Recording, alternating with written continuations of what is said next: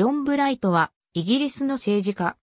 自由主義者の中でも急進派に属する政治家であり、リチャード・コブデンと共に反穀物報道名の代表的人物として知られる。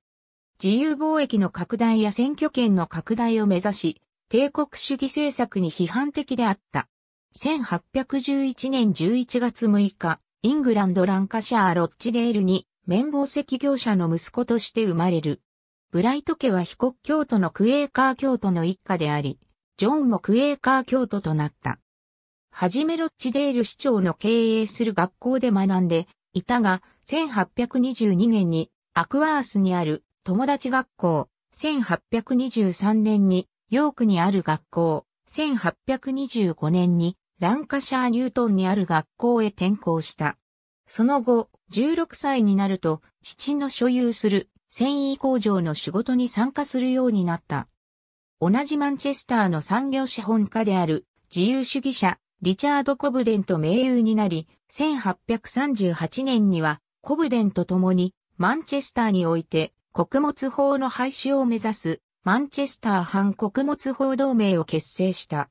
この組織はマンチェスター以外にも急速に広がっていき、1839年には反穀物法同盟が結成された。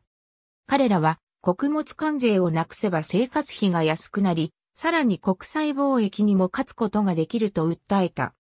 1842年には、ロバート・ピール内閣通商庁副長官、ウィリアム・グラッドストンのもとに、関税廃止を求めるランカシャー陳情団の一員として派遣された。1843年4月にしておぶ、ダーラム選挙区の補欠選挙に当選して、庶民議員となる。議会内では急進派に属し、また、マンチェスター学派と呼ばれた。マンチェスター学派の自由貿易推進運動の尽力、あって1846年には穀物法が廃止された。穀物法廃止後も、さらなる自由貿易を求めて活動した。反戦活動家でもあり、クリミア戦争に反対し、また首相パーマストン子爵が開始したアロー戦争にも、コブデンと共に反対したが、アロー戦争の是非をめぐって行われた1857年の解散総選挙では、中産階級の有権者の反発を買って、マンチェスター選挙区において落選した。代わりに、バーミンガム選挙区から当選したが、これをきっかけに彼は、支持基盤を非国境と中産階級から労働者、階級上層部へ移していくようになった。こうした背景から1858年から1867年にかけて彼は選挙権を労働者階級上層へ広げる選挙法改正運動に熱心に取り組むようになった。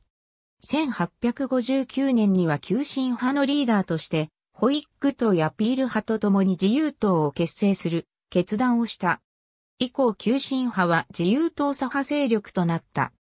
1861年に起こったアメリカ南北戦争をめぐっては、奴隷制廃止を掲げる北部を民主主義にかない、道徳的原理に適合しているとして強く支持し、一方南部については、奴隷を酷使して綿花を生産している、加藤政治と批判した。トレント号事件をめぐって、イギリス世論が北部に批判的になった際にも、北部を擁護した。1866年にラッセル伯爵内閣庶民院、院内総務グラッドストンが庶民院に提出した選挙法改正法案に協力した。強硬な選挙法改正賛成論者として、政府の意図とは別に選挙権拡大は議席再配分とともにではなく、単独で行うべきことを訴えた。しかし結局この選挙法改正は、ロバート・ローラ自由党内反対派によって挫折し、ラッセル伯爵内閣は総辞職した。保守党政権ダービー伯爵内閣に政権交代したが、これには国民の失望が激しく、各地で禁止命令を無視した集会やデモ、選挙法改正反対派の政治家の邸宅の不法選挙など暴動が多発した。ブライトも1867年の会期を前にした1866年12月のロンドンでの集会において、次の会期でローのような反動が再び起これば、偉大なる国民的義勇軍の武装など容易であると宣言し、内乱が起こる可能性を示唆した。これに恐れをののいた保守党政権は庶民院内総務ディズレーリの主導で第二次選挙法改正を行い、労働者上層に選挙権を広げた。1869年2月13日のバニティフェア誌に描かれたブライト。57歳の時の1868年12月、第一次グラッドストーン内閣に通商庁長官として初入閣した。彼が初めて議会の大臣席に腰掛けた際には、保守党議員たちから嘲笑が起こったという。病気により1870年に退任したが、その後1873年から1874年にかけてランカスター公領大臣として入閣した。第一次グラッドストン内閣下野後の野党期には、第二次ディズレーリ内閣の帝国主義政策を批判し、1879年10月25日には、マンチェスターにおいて、それは我々、民衆に血を流させ、我らの財貨を浪費し、我らに重税を課し、地球上の全地域に戦争の危機をもたらしているのであると演説した。1880年に第二次グラッドストン内閣が発足すると再びランカスター公領担当大臣として入閣した。しかし、エジプトで起こったオラービー革命に対してグラッドストン内閣が帝国主義的な武力介入を行ったため、これに反発して1882年7月に辞職した。19世紀終わり頃から登場し始めた新たな革新勢力である社会主義とは距離を取り、一切の関わりを持たなかった。1886年の第3次グラッドストン内閣のアイルランド自治法案には反対し、チェンバレンら自由党内同法案反対派の勢力に参加した。1889年3月27日に死去。ロッチデールのクエーカー教徒の墓地に埋葬された。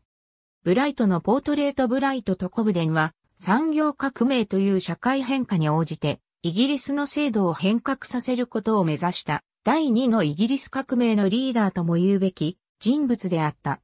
二人によれば1690年以降のイギリスは純然たる貴族政府、その時代はほとんどすべて戦争の時代、それも明記な戦争の時代だったという。これを改善する鍵こそが自由貿易であり、自由貿易で各国が結合し、国際分業体制が確立されれば、必然的に戦争は消えると考えていた。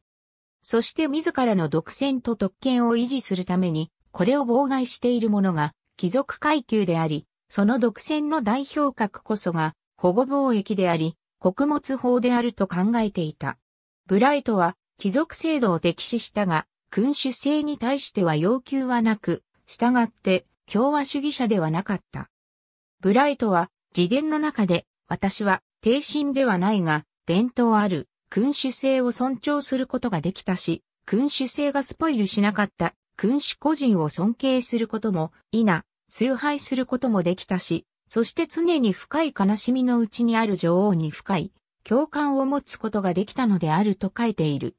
実際ブライトは、ビクトリア女王の陰険を受けた際に女王と打ち解けた様子であったという。ブライトは、仮想民を貴族階級に有効に対抗させるため、社会福祉政策には反対した。仮想民が国家からの受益者になれば、彼らはその瞬間に国家と階級制度を是認したことになるためだという。1839年にジョナサン・プリーストマンの娘エリザベスと結婚し、彼女との間にカズメを設けたが、1841年にエリザベスと死別する。1847年にマーガレット・エリザベス・リーザムと再婚。彼女はウェイクフィールドに近いヒースの銀行家、ウィリアム・リーザムの娘だった。彼女との間に4人の息子と3人の娘を設けた。長男ジョン・アルバート・ブライトと次男ウィリアム・リーザム・ブライトは庶民議員となっている。マーガレットとは1878年に死別した。弟であるジェイコブ・ブライトも庶民議員だった。ありがとうございます。